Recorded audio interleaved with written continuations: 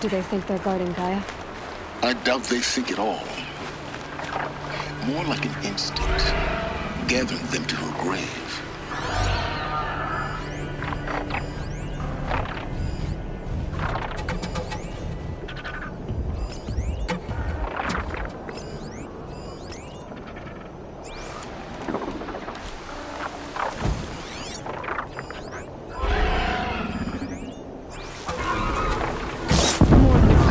You on.